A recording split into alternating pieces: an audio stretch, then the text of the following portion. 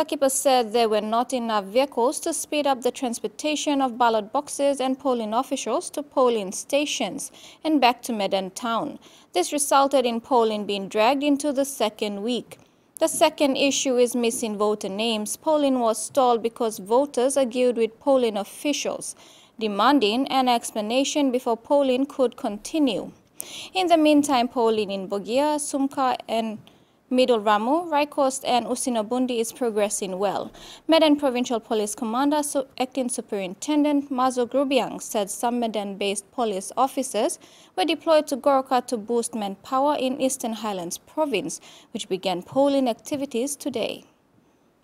Thanks for watching TVWAN News. Please like and subscribe and don't forget to hit the notification bell to stay up to date with the latest news.